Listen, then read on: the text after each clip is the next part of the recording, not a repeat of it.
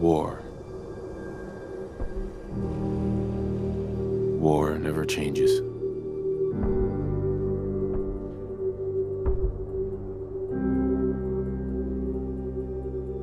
In the year 1945, my great great grandfather, serving in the army,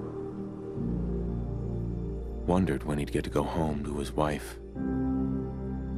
and the son he'd never seen. He got his wish when the US ended World War II by dropping atomic bombs on Hiroshima and Nagasaki. The world awaited Armageddon. Instead, something miraculous happened. We began to use atomic energy not as a weapon, but as a nearly limitless source of power.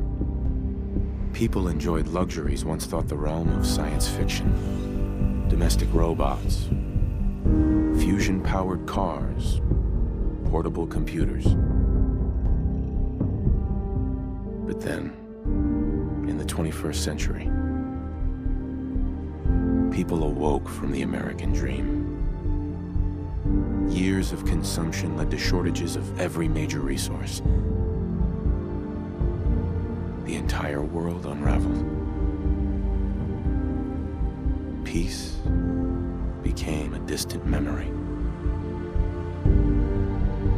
It is now the year 2077. We stand on the brink of total war. And I am afraid. For myself, for my wife, for my infant son. Because if my time in the army taught me one thing,